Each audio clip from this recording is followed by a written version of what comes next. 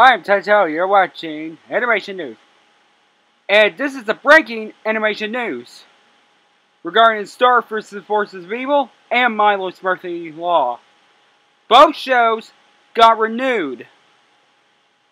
Well, Milo's Murphy Law got renewed for a second season, while Star, before its third season coming this summer, got renewed for its fourth season.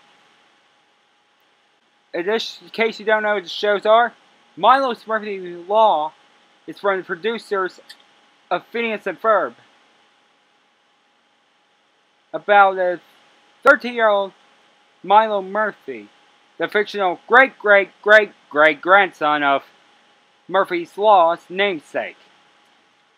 Where anything can go wrong, will go wrong.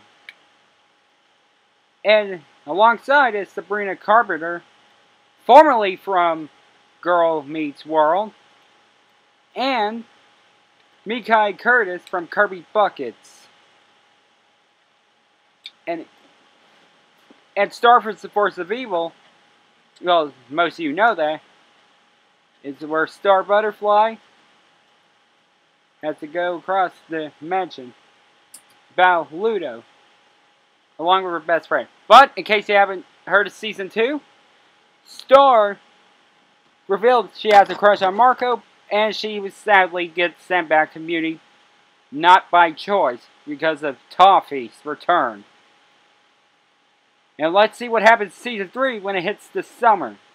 I'm Tony Shaw, and thank you for watching this breaking animation news coverage.